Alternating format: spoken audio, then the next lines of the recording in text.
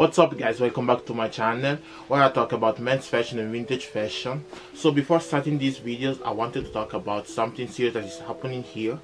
About the pandemic in Italy is getting worse and as I told you in one of my videos before, I will not do videos outside or vlogs or going to the thrift for at least another month I think. This situation isn't easy, I hope you're staying all at home and uh, I hope my content will help you to pass this time as well and to entertain you. So guys, today we're going to talk about the history of the bomber jackets.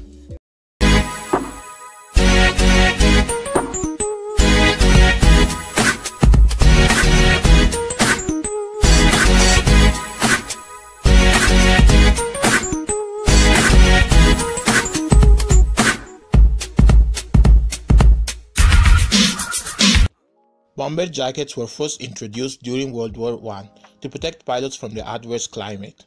Then these jackets were also used by the various government agencies, defense and military department. Around 1915, the Royal Flying Corps in Belgium and France produced long and heavy-duty flying coats for the pilots. In 1932, the bomber that we recognize today was released by the US Army Air Corps and was called the A-2. A2 jackets are so durable that you can still find them today in great conditions. The B-15 jacket consisted of a fur collar made of cotton which was later changed to nylon after 1945 because of its water resistance. The first model of the modern bomber is the MA-1 that was used by the US military around the end of the 1950s. Made of sage green or blue nylon, another model was orange inside so that it could be worn inside for the alert rescue. Bombers appeared in Europe during the late 1950s and in 1963 and popularized by the European air forces. Bomber jackets were originally midnight blue but were changed to sage green after the Korean and Vietnamese wars since, it was easier to camouflage. More civilians adopted the bomber jacket after the late 50s. Bomber jackets started their popularity during the mid 1960s to the 1980s. Especially English punks and skinheads started to take over the trend and change the color into burgundy. During the 1980s, thanks to Top Gun, Indiana Jones, and The Hunter, the bomber jacket was cemented into popular fashion. It remained popular through the 2000s thanks to streetwear and grunge.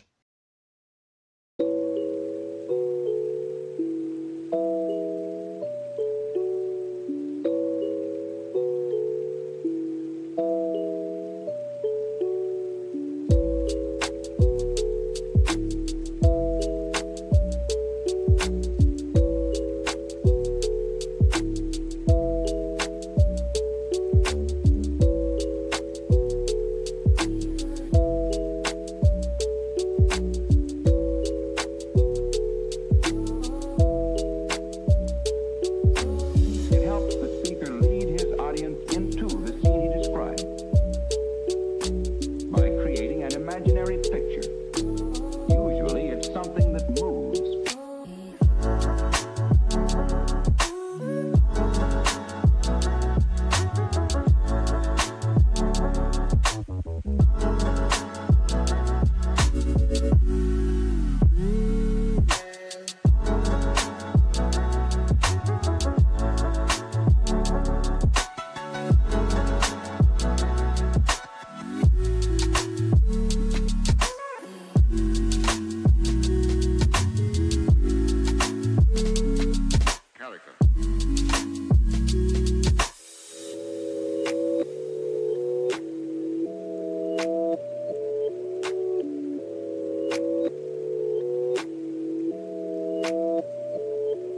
So guys if you want more content on jackets i did the windbreakers collection that i will link here or up here.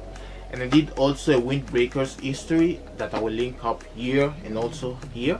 So guys hope you enjoyed this video. Like comment subscribe hit the notification bell so you will know when i put my next video.